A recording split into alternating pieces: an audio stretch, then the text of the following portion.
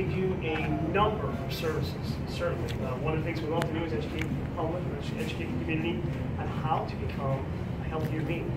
And express health, not only today and tomorrow, but in the years to come in your life. Quality of life is the important thing. Because what is the number one asset that you have access to? It's your health. It's not your home, it's not your cars. It's, it's actually your health. Because without it, all the rest of it doesn't matter. And that's what we want to make sure that we are putting in the utmost of our lives is how are we making plans do that. One of my favorite things to always say is you plan to retire, you plan to buy a car, you plan to buy a house. What have you done to plan for your health? That's the big question. And so you want to make sure that you have those plans in place because otherwise it's like getting in the car driving here when you've never been here and not knowing where it is. So you're guessing, and that's not what you want to have. So that's a very big point. Today we're going to talk about diabetes.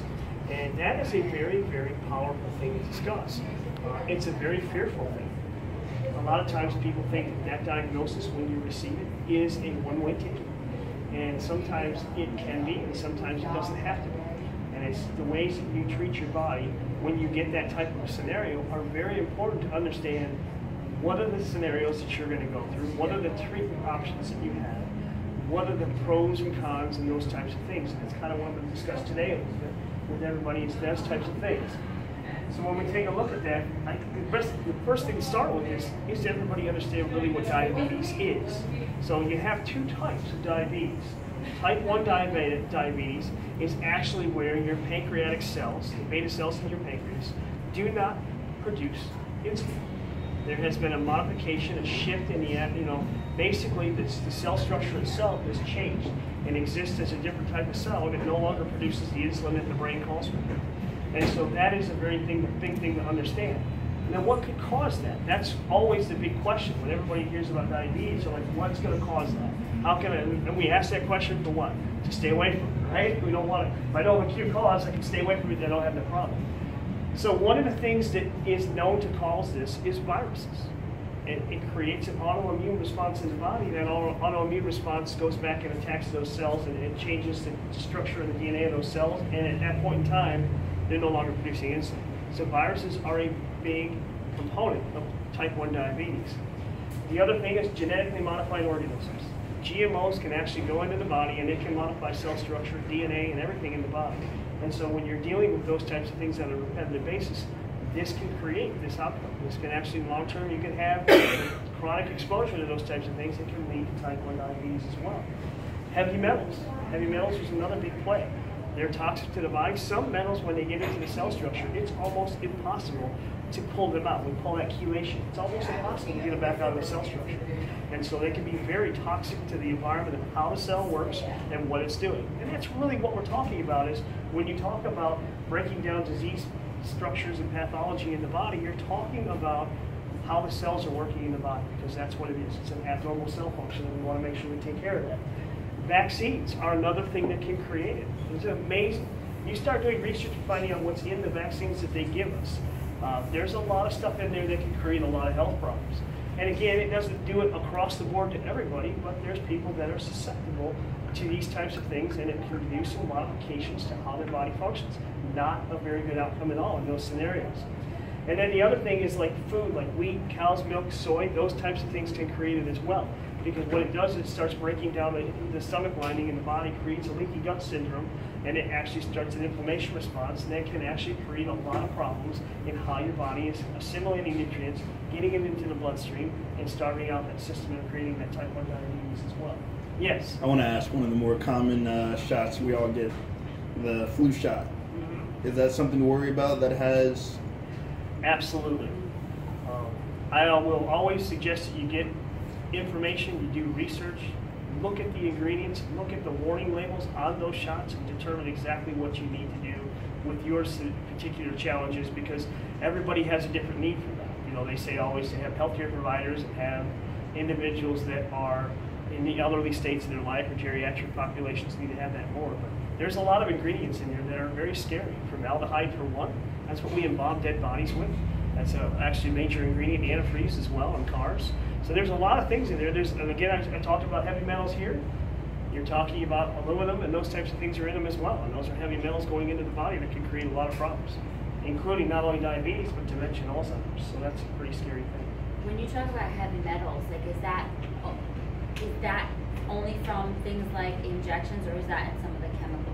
The It's in all, it's in your environment. Now, I'll actually cover that in a little bit when I talk about your environmental toxins, but good question. I'll come, I'll cover that in a few minutes.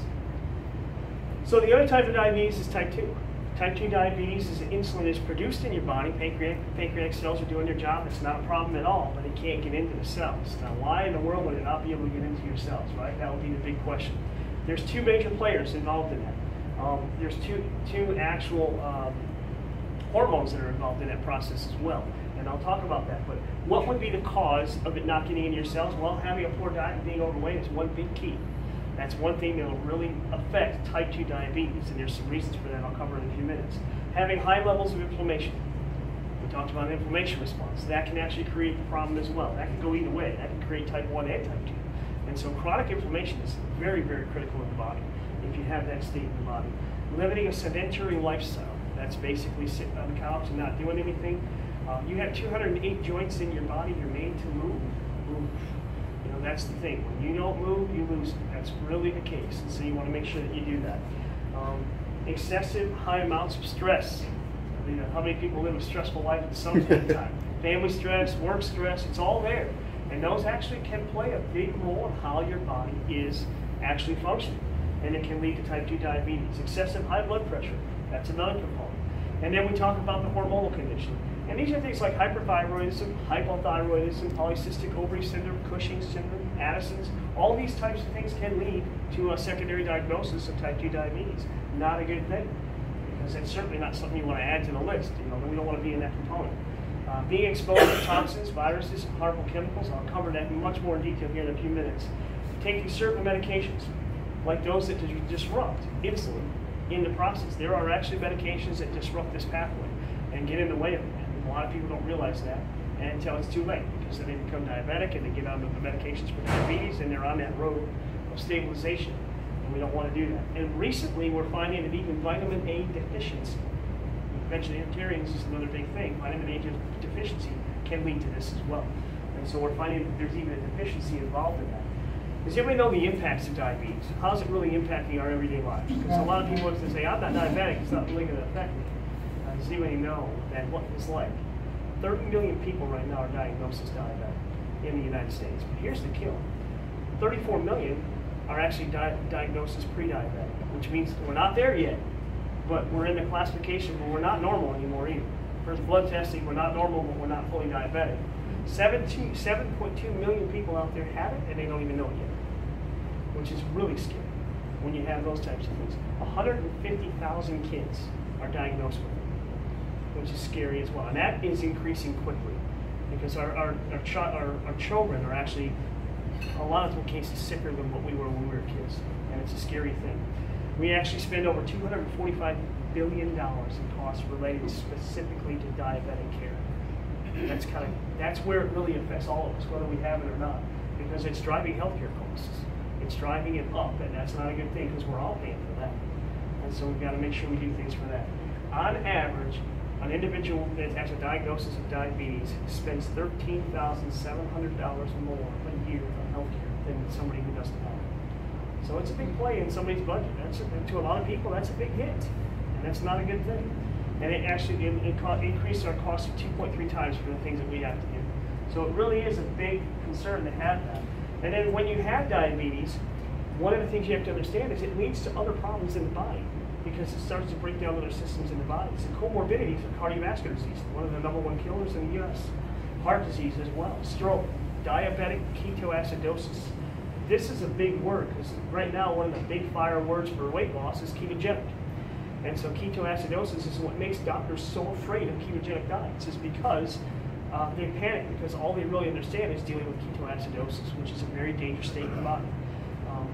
And so there's a big separation in those types of things. Leg amputations, obesity, which is another big issue uh, in our country, loss of feeling in the extremities, hands, feet, that happens as well. And inability to work or walk or do anything in later stages of life. The quality of life of a diabetic in the later stages can be very challenging and that's not a good thing either. So it's good to understand how that actually affects it.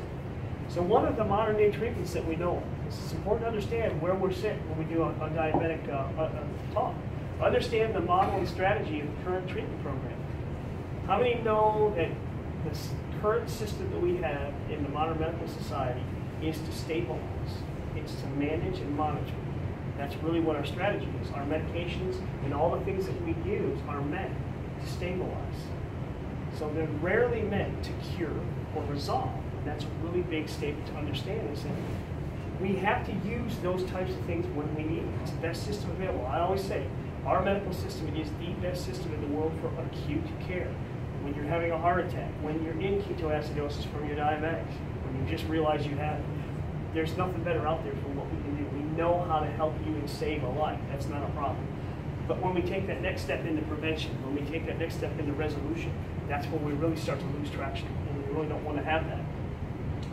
Uh, we want to make sure that we support our subsystems. So when we actually look at resolve and a cure, we have to understand. You know, I talk, I do a lot of talks on Facebook, and when I talk about thyroid or adrenals or I talk about diabetes, you have to understand this is a system in the body. It's not one organ. It's not the pancreas. Most people think, oh, it's the pancreas, it's shot, that's what we concentrate on. There's a lot of other players in the game, and we have to make sure we understand the players and how to take care of those players as well. Remember, diabetics suffer from many health issues due to the treatment today. And one of the things I'm talking about is the current treatment of diabetes, when you're using high-acting insulin, medium-acting insulin, you're using uh, low-acting insulin for overnight care, those types of things, over a long period of time, the strategies that they use create a lot of highs and a lot of lows, and it wears out organs and systems in the body. It just does. It's, it's high mileage. And that's usually what you see with later stages of diabetics is their body is showing high mileage. And we want to make sure that we, don't, we can get away from that as much as possible.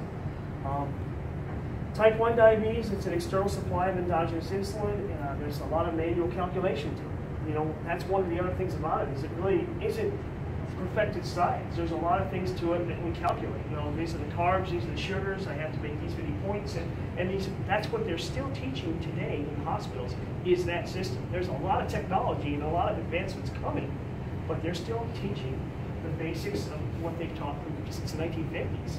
It's it, it's we've got to make some changes. For many, it's uh, you know it's an estimation and it's a guessing game. You know, and I've watched that happen with a lot of patients in, in my office. It creates wear on our systems, I mentioned that, and as time leads, other forms of disease in the body begin. The other thing is it's expensive.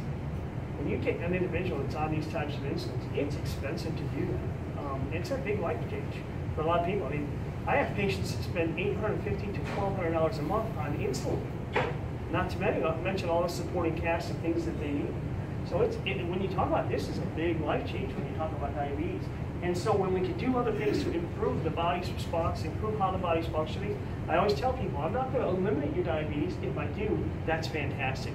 But if I can just make enough change where you go way down in your usage and the treatment plan and those types of things that your body utilizes what you're using more effectively, I've added years to the life, and that's what I want to do. So that's a big thing. Uh, when we talk about type 2 diabetes treatments in the modern day, there's basically a couple, of there's two real strategies. There's what they call an alpha glucosidase inhibitor. Basically, that's what you are familiar with. It's called, many people might know by Agravase or Medinol. It's the some of the prescriptions that they get.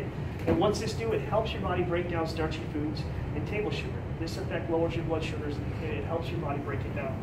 Really, that was, so let's think about that. If you're taking medication so you can break something down, what system are we talking about? Pancreas. Digestion. Oh. Digestion, right? How do you break down food? It's in your digestive tract. So we already understand that that treatment protocol is actually looking at a different system to help fix the problem, right? So that, that is a step of understanding what we can do. So how important would diet become and nutrition and what you're putting in your body, ingredients, that's where the game starts to play. Because now we're like, okay, we're gonna go after digestion and that's bring, that brings my blood sugar down, then we need to really clean that area up in the body. Uh, the other one is called Biguanide. I don't know if you've ever heard of that, but they actually metformin is the big name. Everybody knows metformin. That's a big player in what they do out there. And that is actually to decrease how much sugar your liver makes. That's what that medication does. It also decreases how much sugar your intestines absorb, and it makes your body more sensitive to insulin. So it actually tries to reignite the insulin receptors on the cell so it'll be more active in taking it in when it's in your body. Um, and it also helps your muscles absorb glucose as well. Amazing stuff, right? So when you're going on those things, so think about those things. Look at all the systems that they're working with. So we understand that it's not just a pancreatic issue. It's not just those types of things. There's a lot of other things at play here that we have to understand. the big thing to understand is when you're on metformin, if you're changing all those things in the body, what are you doing? At the cellular level of the body, you're manipulating how the cells communicate. And if you're doing this, one of the things I always teach about using medications in a situation is understand it's global. It's in your body. It's not just going to go and affect your pancreas. It's not just going to go and affect the blood system. It's going to affect everything in the body. So its effect on the liver is the same thing on every other organ out there, right? So you have to understand that when you take those types of things, although they might help in one area, these aren't little things that go around and say, oh, there's the liver, I'm just going there, that's my home. No, it's all over the body. We have to understand that. You know, is there another way? I always teach and treat my patients in four critical areas when it comes to diabetes. And what that is, is the first one is to resolve hormone, metabolic, and organ imbalances. That's one of the most important things you can do because that is your foundation. That is how your body is functioning. So we have to actually rebalance that, resolve any imbalances that are there. We have to identify specific foods, minerals, and nutrition for support. that has got to be part of it. There is no other thing in our lives, research-based, that can be changed to create more health in the body than nutrition. It's proven. There's nothing else that can touch it. Uh, it it's just the most widely researched component of healthcare is nutrition. And every single time when you go from something that's toxic and not good for you to very healthy nutrients, the body is an amazing turnaround on that. That's a good point, and my question, you bring up a question for me. When there's so much information on nutrition and what's right, how, how do you weed through it though? How do you know what's right for, because I'm different from you and, and you and you. So there's just so much information and often contradictory. Yeah, So It's always you- counterintuitive. How do you know? know, at this point with the access that our time has with, with information, you can always find a study that supports something, you can typically find a study that re- as well. So you're very confused. That is a great question. And here's the thing, you have to find out what you need specifically. Now, how can you do that? Can you find out specifically what you need to eat reading uh, a book of what somebody else did to be successful? No, that was their body, that's their unique self, so you can't do that. How about what your mom and dad did that was successful? May not work. Now, while you have some similar genetics to them, it may not work in your body because you are individually different. We have to bring technology into play, I'll, I'll talk a little bit about that because technology is key.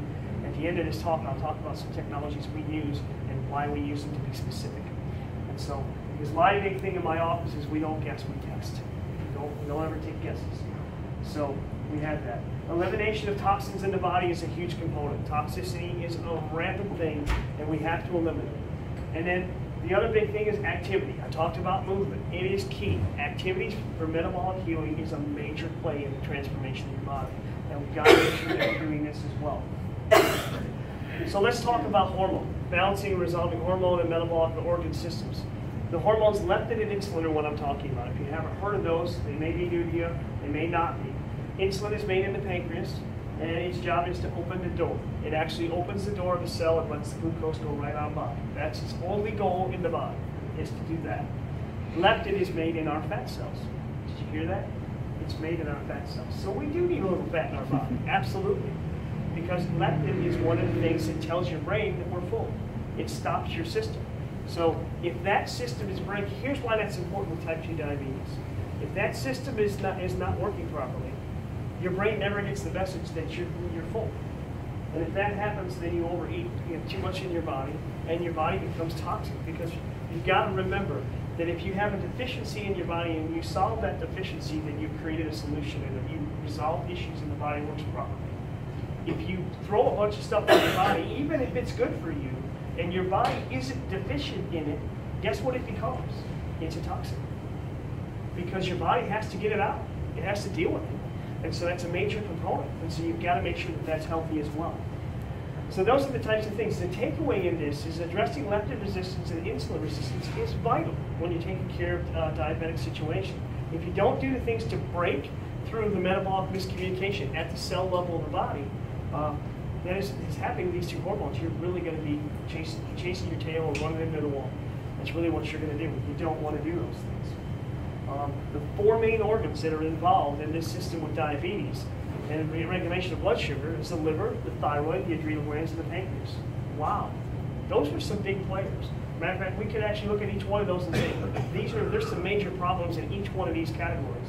And you also have to understand that each one of these, when you talk about thyroid issues, it's a system. Adrenals, it's a system. How the liver function, it's a system. There's other things that affect it.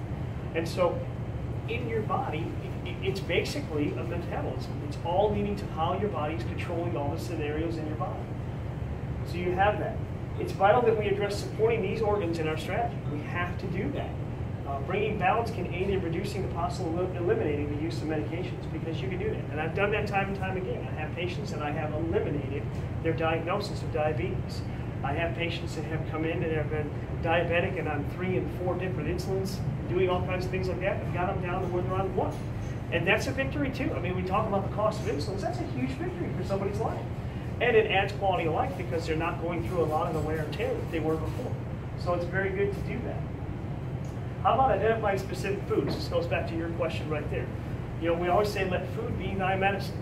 That's why you chose the route that you chose, is because usually that's what leads you to make that choice. Um, so not as easy as to stop, you know, not as easy as just stop eating candy and eat the greens. It's not that easy because those things may not be the best thing for your body. Um, you are unique, like you mentioned earlier, and you need to know what are the best foods for you. For example, for me, salmon is not a good food for my metabolism. It really disrupts how my body functions. And I know that because some of the programs that I've gone through in the office have identified that as an issue. And so, amazing, because how many people eat salmon for omegas? How many, you know, there's a lot of good benefits of that nutritious fish, but not for this guy here. I can't have that. I have to go to other sources for that. But I know that. And that's what's really cool is what do you know about yourself? That's one of the major issues across the board for all of our health issues, is you don't know you. You don't know what's good for you, what's bad for you. We're guessing in a lot of cases. And so we've got to make sure we start dialing in and using technology and testing to make sure that we know that we know what it is. Same thing with oils, herbs, and supplements. How many people have taken something because my mom had it, it was a really good deal, or my best friend got it, man, did they look great when they were on this, I'm gonna get it. And it didn't work. You know, there's a lot of times that that happens, and I can tell you there's people that I know and patients that I have, and you can open up the door in their cabinet, and they've got tons of stuff sitting in there that they quit using because it didn't work. And what led them to do that? So you've got to make sure that you are very specific. Make sure the approach is specific to you and is developed by an expert, someone who understands physiology, somebody who has gone to school and has learned how this stuff works at a cellular level in the body. Because if you don't, you're going to end up with that huge thing of all these things that don't work, probably more health problems that can lead you astray. I actually have a patient that came originally from my diet program that I have in my office.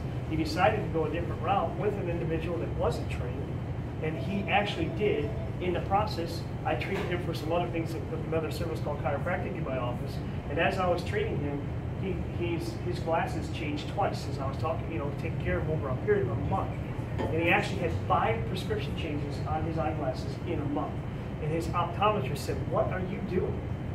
And he said, Well, I've been doing this diet, and you know, I've, I've been losing weight, but I'm not feeling that great, and everything else. And he said, You need to go to your primary care. There's something really wrong there's something really wrong going on in your body, type 2 diabetes. Just like that caused from the program that he was on because it was such a toxic program that he was doing.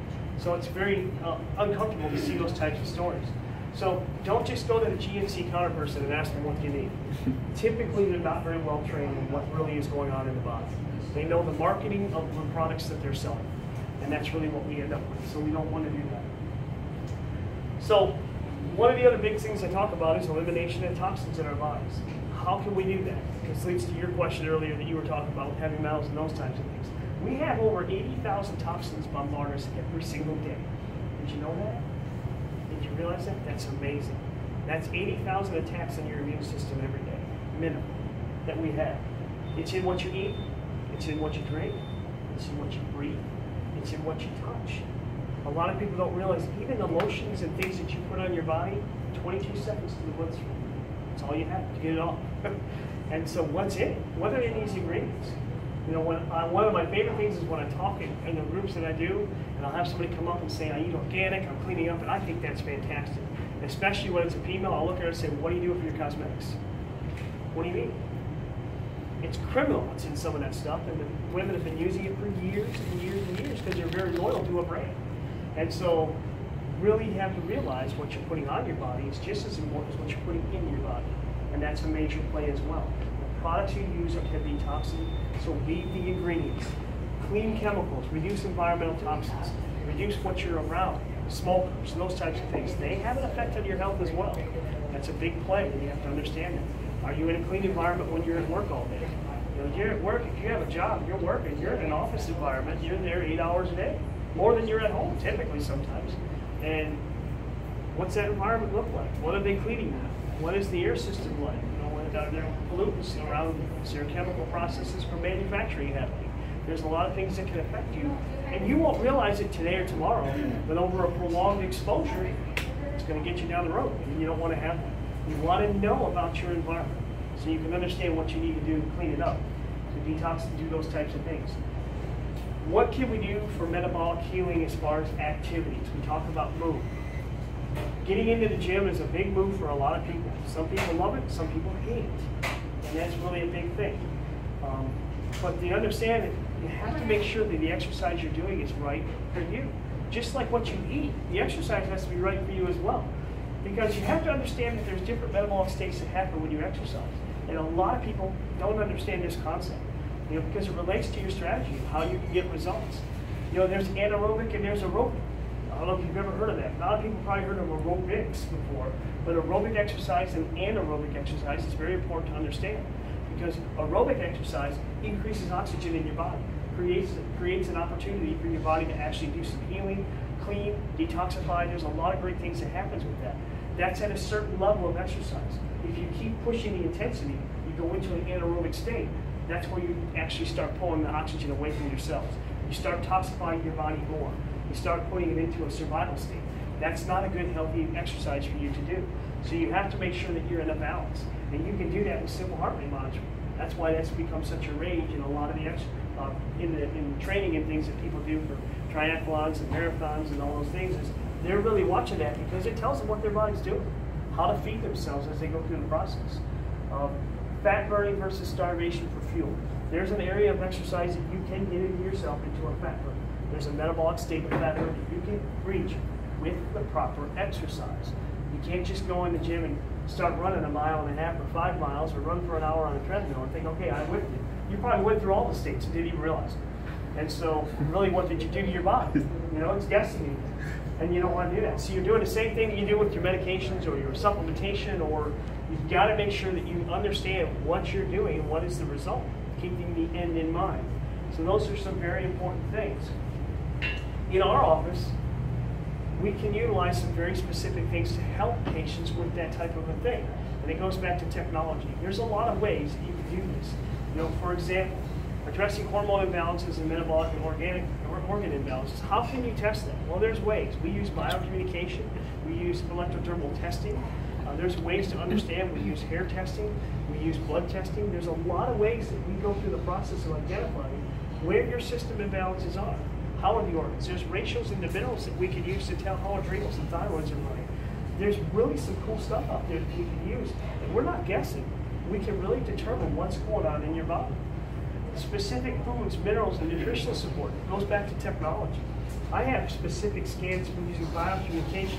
And so for people who don't understand what biocommunication is, that's actually a, a contact between you and a machine that's going to actually stimulate into your body and ask your cells basic questions and get a response on how they respond to those types of scenarios.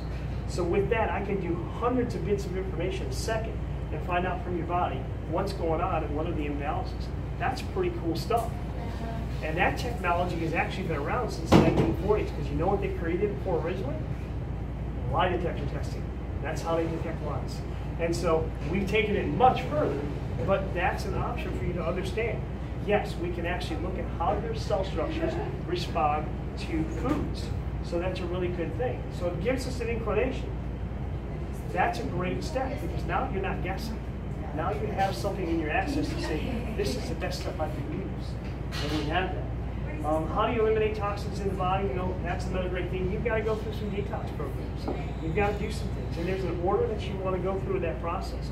A lot of people jump in and they'll do specific, I'm going to detox my liver. Well, if you're not going through the specific order that you want to go through, what you end up doing is you end up moving toxins from one area of your body to another because you're just not getting them out. And that's the process of what you want to do. You know, if you go through and you detoxify your liver, and they say, well, I'm going to do a digestive cleanse, and your digestive cleanse, guess where that's going? It's going into the liver. so you just toxified it again. So you've got to make sure you have somebody, and that goes back to having an expert, getting involved with someone who really understands nutrition and physiology and how the body runs to make sure you have the right steps in play. So you have that. Um, specific types of exercise, again, there's some great things. You've got to talk about, so, so where is your level of exercise now? Have you never gotten off the couch?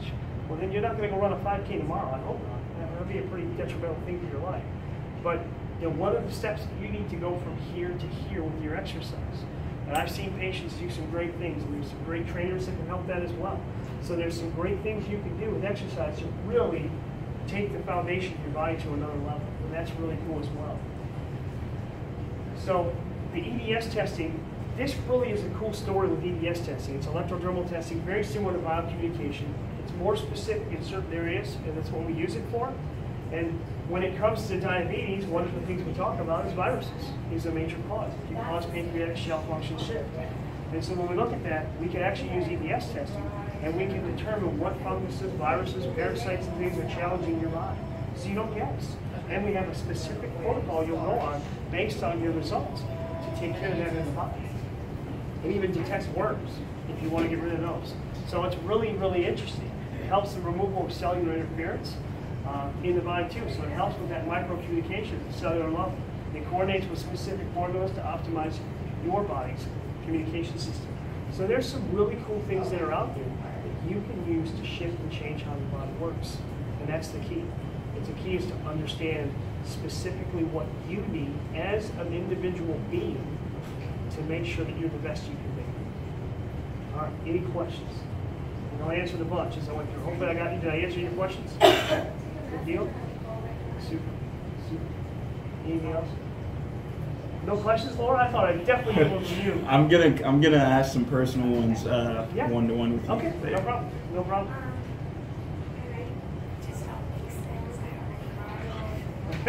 She does. Um, can I use your story? Is that okay?